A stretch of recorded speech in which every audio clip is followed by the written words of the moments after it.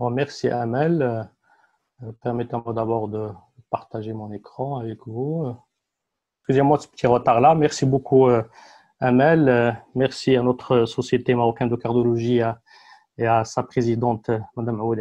Bienvenue à tous. C'est vraiment un plaisir que je ressens en ce moment en m'associant au docteur Douaro et au docteur Boalim pour, pour ce webinaire qui est très très intéressant autour d'un terme qui est si intéressant et si compliqué parfois hein, lors de notre pratique quotidienne. Euh, je dirais aussi merci à ce virus-là hein, qui nous a permis un petit peu de nous réunir hein, à distance plusieurs semaines, plusieurs fois par semaine et, de beaucoup apprendre via plusieurs euh, e-conférences pendant cette période de confinement. Euh, tout d'abord, je déclare que, je déclare que je n'ai pas de conflit d'intérêt pour ma présentation.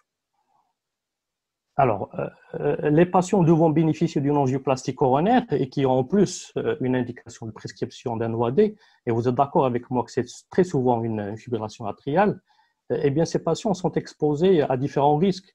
risque de thrombose d'abord, thrombose de stent, efficacement prévenu par la bithérapie anti-agrégante plaquettaire par rapport aux AOD. Et deuxième risque, c'est le risque d'accident cardio-embolique qui est efficacement prévenu par les AOD par rapport aux anti-agrégants euh, plaquettaires. Le troisième risque, c'est celui d'hémorragie augmentée par euh, cette association de euh, l'AOD et des anti-agrégants plaquettaires.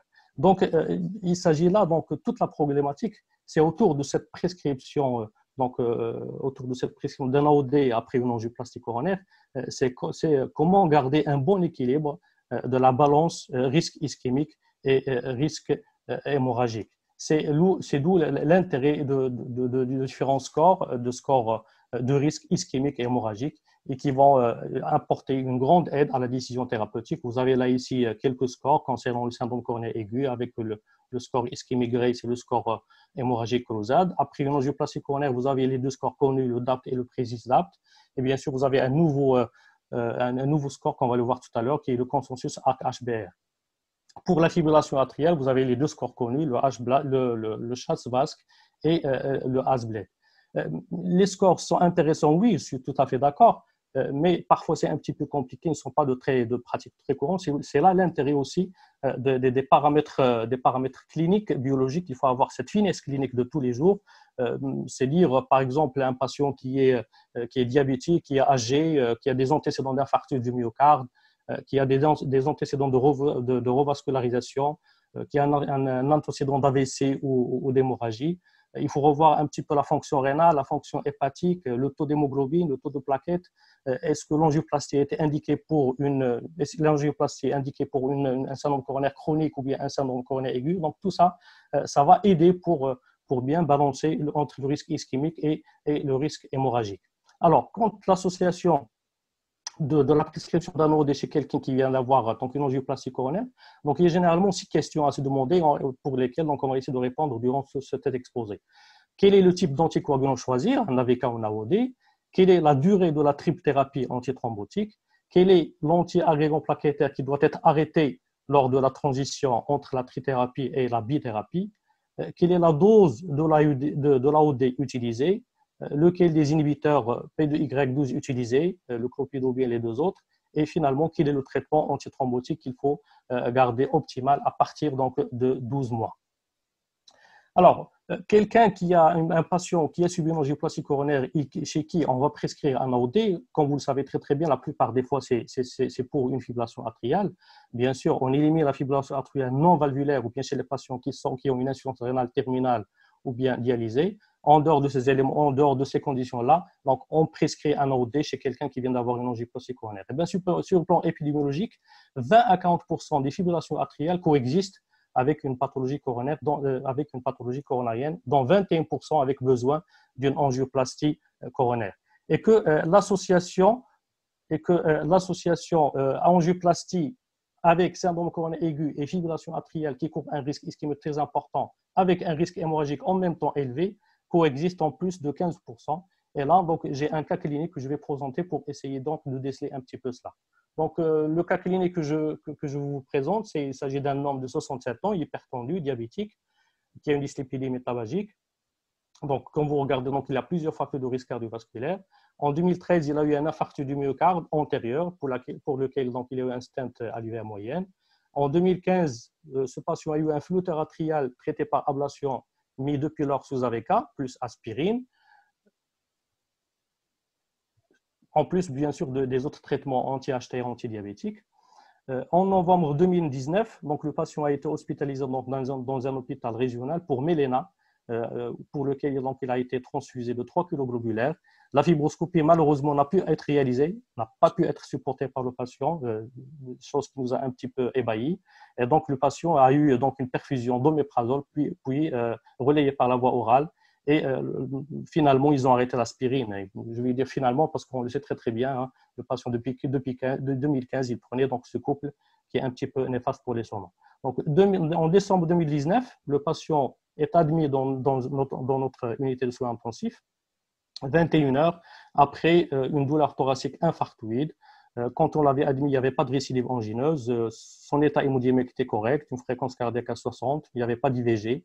On avait noté une pâleur cutanémuqueuse importante, mais l'interrogatoire n'avait pas révélé de récidive de méléna. Et les médicaments qu'il prenait habituellement, ce sont là, donc le syndrome en plus des autres thérapeutiques anti-HTA, anti-diabète. Voilà son ECG euh, quand on avait admis nous à H21. Donc, euh, vous remarquez très bien une fibration atriale euh, lente aux alentours de 60. Et vous notez très très bien donc le, le, décalage en D2, D3 AVF avec déjà l'ébauche de l'onde de nécrose.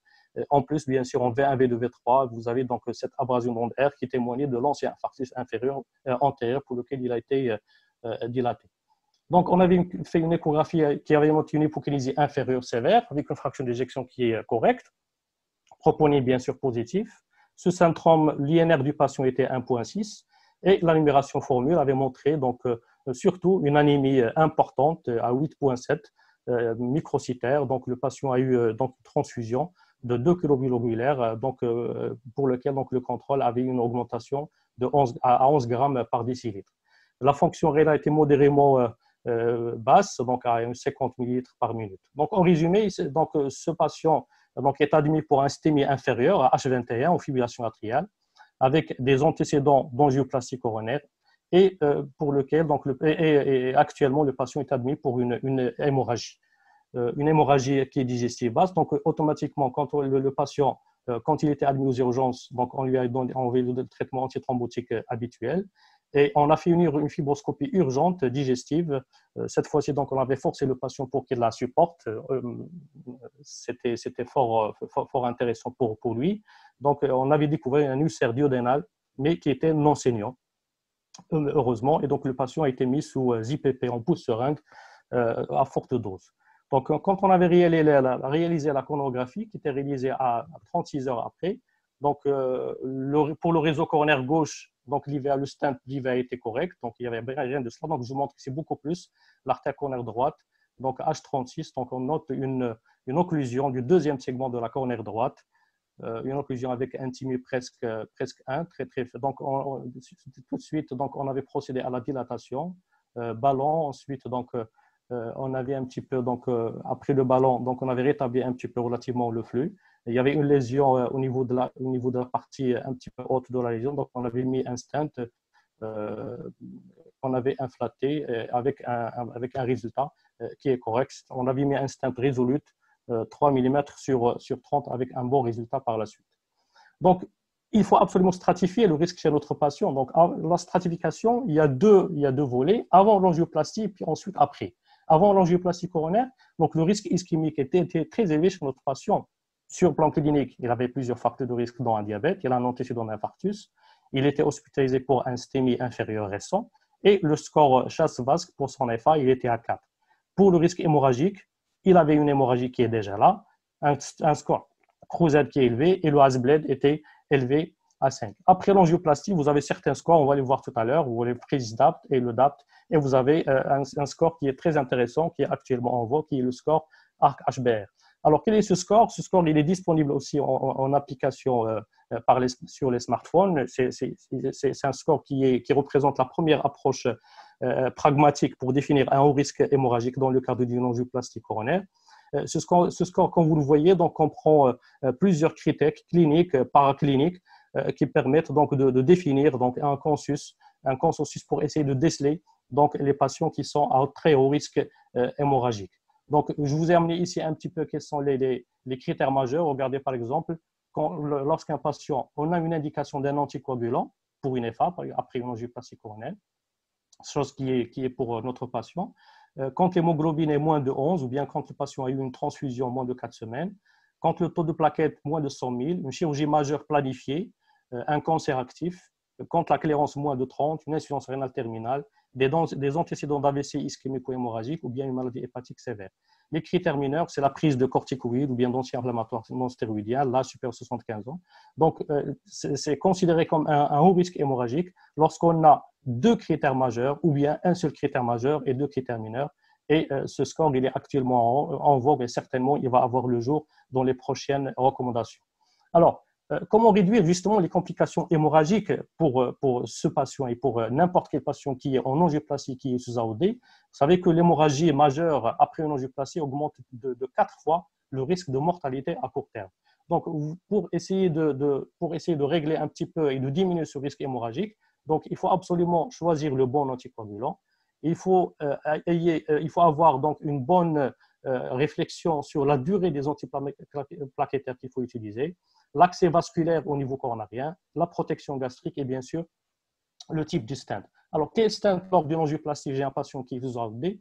Euh, actuellement, tous les stents de dernière génération, deuxième et troisième génération, avec, euh, avec, un, polymère, avec euh, un polymère qui est érodable, tel que le Resolute ou le Xience, un polymère bio, biodégradable, tel que le Synergie, ou bien les polymères, ou bien sans polymère, tel que le Biofreedom. Donc, tous ces stents qui sont de, deuxième, troisième génération, euh, par rapport aux stents nus, euh, permettent d'éviter à la fois les resténoses et, les thromboses de stents euh, par rapport aux stents nus. Donc, on peut actuellement limiter donc, à un mois la durée de la double antivirale plaquettaire chez un patient à haut risque hémorragique quand on veut stenter ce, patient en utilisant donc, ces différents stents.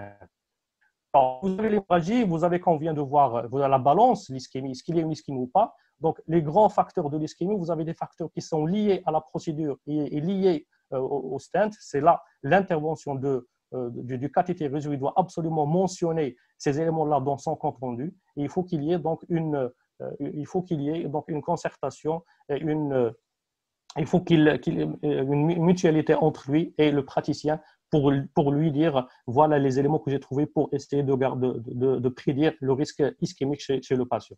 Vous avez les facteurs de, procédural, par exemple une malapposition des mailles, une sous-expansion du stent, euh, défaut de couverture des mailles ou bien fracture, déformation du stent.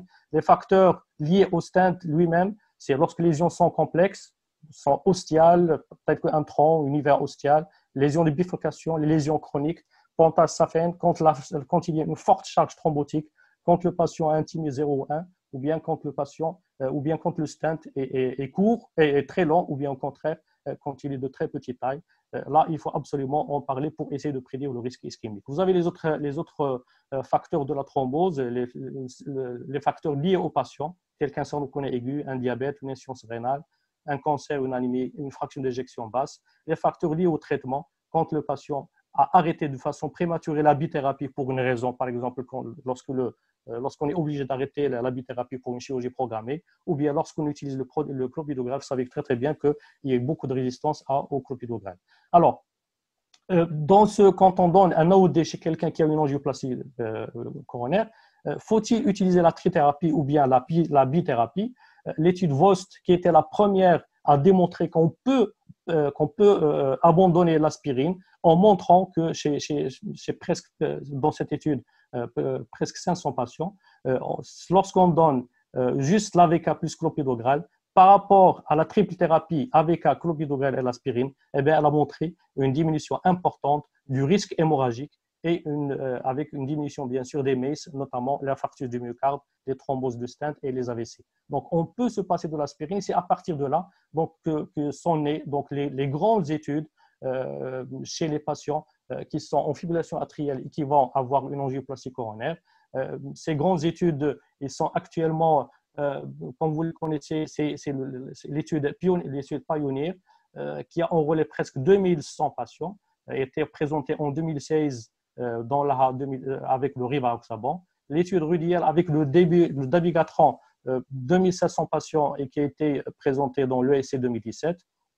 Et les deux dernières études, Augustis et Antrust, avec l'apixaban, l'étude Augustis, c'est la plus intéressante qui, avait enrôlé le plus grand nombre de patients et qui a été présentée en 2019, ainsi que, que l'étude ainsi que l'étude entre, Antrust. Alors, le critère principal de jugement de toutes ces études était toujours un saignement cliniquement significatif alors que le critère secondaire était l'apparition d'un MACE.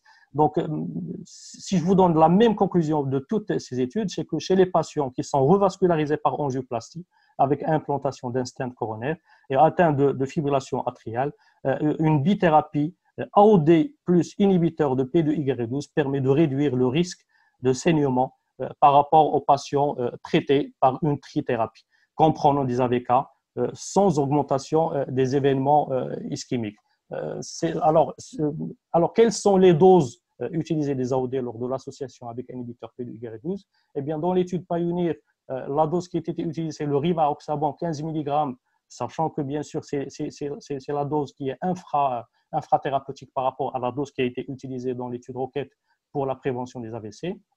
On avait aussi utilisé donc, le Rivaroxaban 2,5 mg deux fois par jour. C'est la dose qu'on utilise dans les syndromes chroniques aigus, mais cette fois-ci en triple thérapie avec l'inhibiteur de p et l'aspirine pendant 1, 6 ou 12 mois. Ensuite, le relais euh, sera fait par le Rivaroxaban 15 mg. Pour l'étude réduite, le débigatran est utilisé dans les deux doses fortes qui sont utilisées dans les études pour euh, la prévention, c'est-à-dire 150 et 110. Et pour l'étude Augustis, donc la même chose, donc euh, l'apixaban a été utilisé à 5, à 5 mg ou bien à 2,5 mg deux fois en fonction du risque hémorragique ou non. Alors, quel inhibiteur de P2Y12 associé à l'AOD Alors, dans ces études, le clopidogrel a été utilisé dans presque 90% des cas et dans le reste, c'est presque aux alentours de 10-12% qu'on avait utilisé le ticagrelor donc, euh, euh, dans ces études. Alors, quelle durée de, de, la, de la, double anti-agrégant plaquettaire? Vous savez que la phase initiale d'un syndrome aigu est caractérisée par un risque de récurrence ischémique élevé, euh, en particulier thrombose de stent subaigu et aigu, et qui nécessite un traitement anti-plaquettaire qui est très agressif.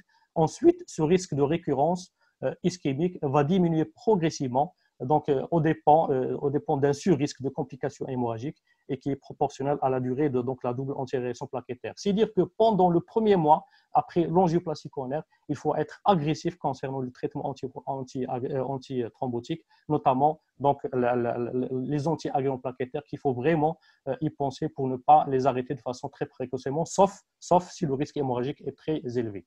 Alors, il faut scorer les, patients justement après une angioplastie coronaire euh, donc, la Société européenne de cardiologie donc, insiste sur, euh, sur les deux scores euh, Precis DAPT et le score DAPT. Ces scores-là, vous avez le score Precis DAPT qui est beaucoup plus utilisé pendant la, la, la, période courte du reste, pendant les trois premiers mois après, après l'angioplastie, qui prend en compte donc, un certain nombre de, d'items, notamment donc, le taux d'hémoglobine, le taux de, le taux de globules blancs, l'âge du patient, la, fonction rénale, alors que le score DAPT euh, il est utilisé après 12 mois donc de, l'angioplastie euh, coronaire et qui, est constitué aussi de plusieurs euh, éléments, notamment l'âge du patient, la présence du diabète ou pas, la, présence d'un infarctus dans, les antécédents. Et bien sûr, il a tenu aussi en compte donc, le, le, stent, son diamètre et sa longueur pour essayer de voir un petit peu le risque après 12 mois, si on peut utiliser ou non euh, une, si on peut prolonger la durée de l'anti-agrégation plaquettaire. Alors, grosso modo, le, score PRESIS-DAPT, c'est un score de risque hémorragique. Quand il est supérieur à 25, le risque hémorragique est très élevé et dans ce cas-là, donc il faut euh, diminuer de, façon très importante donc la, durée de, la double anti-agrégation plaquettaire, alors qu'après 12 mois, le score DAPT c'est un score qui permet donc, euh, euh, d'évaluer le rapport bénéfice euh, bénéfice-risque d'une double antiagression plaquettaire. Quand le score est moins de 2 après 12 mois, donc il n'y a pas de bénéfice sur le risque ischémique, mais le risque hémorragique est très fort. Dans ce cas-là, on peut arrêter l'antiagression plaquettaire à 12 mois. Alors, si ce score-là, à 12 mois, il dépasse ou bien supérieur ou égal à 2, alors il y a un grand bénéfice sur le risque ischémique, mais un faible risque hémorragique. Dans ce cas-là, il faut penser à ne pas arrêter donc l'anti-agrégation plaquettaire au moins pendant la surveillance. Alors, sur le plan pratique, quelles sont les recommandations de la gestion euh, des AOD et des anti-agrégation plaquettaires chez les patients avec indication euh, d'angioplastie coronaire? Euh, Vous avez ces, recommandations sont sorties dans, la dernière mise à jour sur la FA en 2019 américaine et sur la revascularisation myocardique de la Société européenne en 2018. Je vous ai rassemblé un petit peu ces deux, consensus sur une seule slide. C'est vous montrer que ici, le, consensus américain, euh, de façon, euh, de façon très. Euh, c'est-à-dire, ils ont une, une, approche par défaut. Tous les patients, ici, on range l'aspirine. Tous les patients, l'aspirine, ils la prennent juste pendant, pendant la phase d'hospitalisation, c'est-à-dire en péri-interventionnel. Donc, pendant une semaine presque, avant le, et à la sortie, on garde l'association clopidogrel et AOD pendant le, le pendant 12 mois et euh, l'AOD, bien sûr, on le continue. Alors, ensuite, en fonction du risque ischémique ou bien du risque hémorragique. Quand le risque ischémique est important, eh bien, bien sûr, euh, l'aspirine, on peut, on peut euh, donc le, le, prolonger jusqu'au jusqu'au premier mois de, de l'angioplastie coronaire pour ensuite garder que le clopidogrel pendant un mois. Et ici, très, regardez très très bien, ils peuvent, on peut garder le clopidogrel après 12 mois si le risque ischémique est très élevé. C'est là où il faut absolument voir le score d'APT. Quand le risque hémorragique est très important, eh bien, l'aspirine, c'est la même chose que, l'approche par défaut. Donc, ils la mettent juste pendant la période péri-interventionnelle, c'est-à-dire avant la sortie du patient, et ensuite le clopidogrel, et continuer juste pendant six mois, quand le risque hémorragique est très, très important, et bien sûr, l'AOD, il est continué, bien sûr, à forte dose en fonction donc, de l'association. Alors, pour la recommandation européenne, automatiquement, ils ont revoir en fonction du risque ischémique et du risque hémorragique. Quand le risque ischémique est très important et l'emporte sur le risque hémorragique, eh ben, on garde le colpidogrel pendant 12 mois et l'AOD toujours, alors que pour l'aspirine, ils préfèrent la mettre pendant un mois. On peut la laisser pendant trois mois ou bien six mois en fonction toujours du scoring, en fonction bien sûr des états cliniques, est-ce que le risque ischémique, et en fonction bien sûr de, des données de l'angiographie, des données du stenting qu'on avait mis. C'est pour ça que euh, il euh, c'est un autre message que je, que je, lance à mes amis cathétériseurs, c'est que lorsqu'ils mettent une angioplastie, le compte rendu de l'angioplastie, il ne faut pas seulement de noter le, le, compte rendu, mais euh, d'avoir une approche pragmatique pour essayer de dire voilà, tel stent j'ai mis, telle longueur, est-ce que la lésion était complexe ou pas?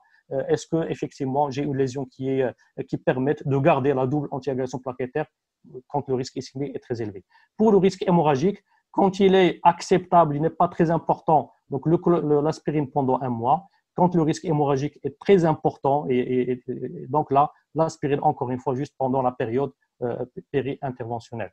Alors, pour, pour remémorer un petit peu ces risques ischémiques et ce risque hémorragique, c'est très très important euh, cette, cette slide qui vous montre un petit peu quels sont les patients qui sont à haut risque hémorragique et chez euh, lesquels donc, on va mettre euh, l'AOD plus, plus le clopidogrel et l'aspirine juste pendant une semaine après l'angioplastie. Alors, ces patients, le sujet âgé, quand il y a une dysfonction cognitive, quand le patient prend un OD comme, comme, comme le, sujet qu'on parle, les antécédents de saignement, quand il y a un saignement actif, quand, le patient a déjà saigné sous, sous double intégration plaquettaire, Bien sûr, chez les femmes, ils ont toujours un risque hémorragique plus élevé. Quand il y a mal du foie, quand il y a une anémie transitoire ou bien thrombocytopénie, et, ou bien quand le patient présente un ulcère peptique, c'est comme, c'est exactement, vous trouvez ici plusieurs euh, items qu'on a trouvés chez notre patient. C'est pour ça qu'on avait choisi chez lui, donc, euh, cette, cette, euh, cette, ce régime-là. Alors, quand le patient il a au risque ischémique,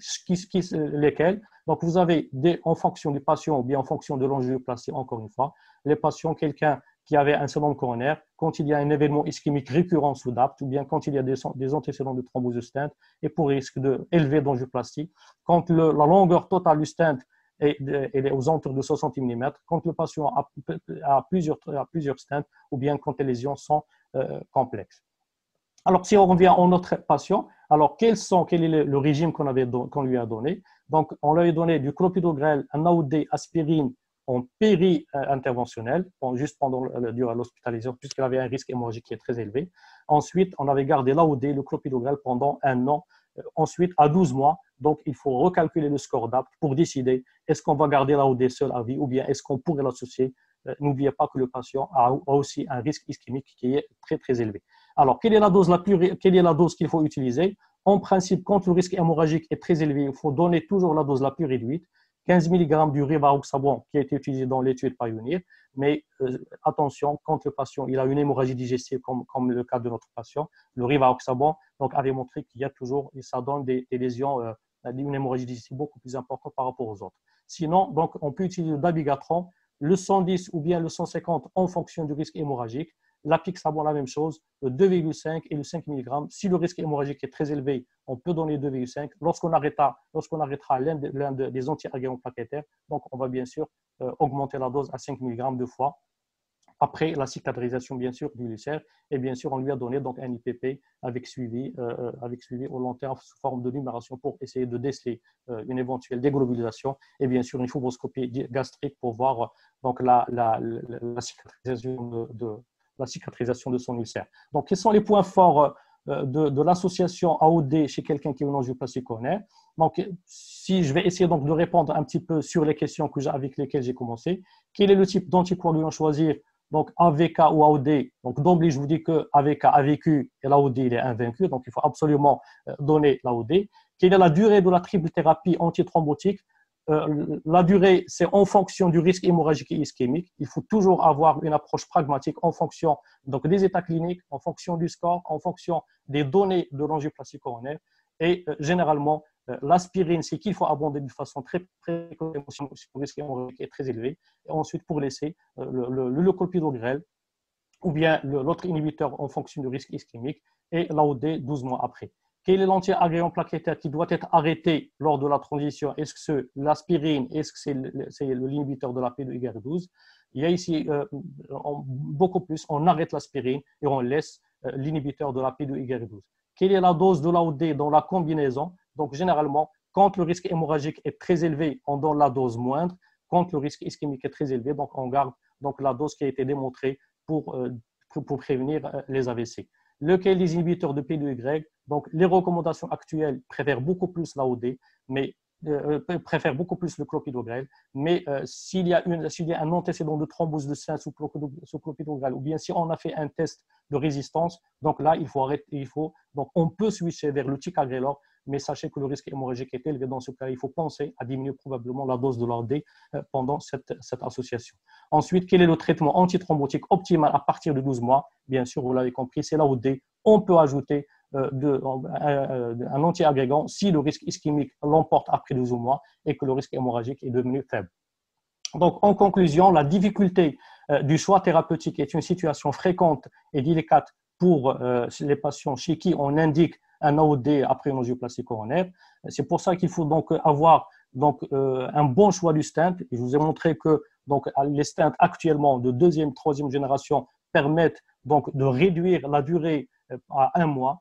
Euh, la balance risque hémorragique risque ischémique, elle doit être individuelle, dynamique, en fonction, elle ne doit pas être euh, autant autant. Donc, c'est en fonction, donc, euh, à chaque moment, après des mois, on peut toujours recalculer ce risque hémorragique ou bien ce risque ischémique pour essayer donc de trouver quel est le meilleur régime pour prévenir à la fois les thromboses de stent, l'ischémie coronaire et bien sûr les AVC selon le, donc le, bien l'AVC. L'AOD au lieu d'un AVK, il faut absolument toujours privilégier l'AOD. Si thérapie dose faible ou forte en fonction du risque ischémique ou hémorragique. L'IPP, il faut toujours donner une, protection gastrique parce que les AOD et la double antiagroplaquettaire augmentent le risque d'hémorragie. Et à l'issue de l'hospitalisation, l'attitude proposée doit être claire et notifiée dans le courrier de sortie en indiquant la teneur, la qualité et la durée de traitement. Et là, j'insiste encore une fois, le message pour, les interventionnels, il faut absolument qu'ils prescrivent euh, euh, qu'il note sur le compte rendu de sortie que le patient il a un gros risque ischémique ou non pour essayer donc de diminuer les, les, les, les dégâts.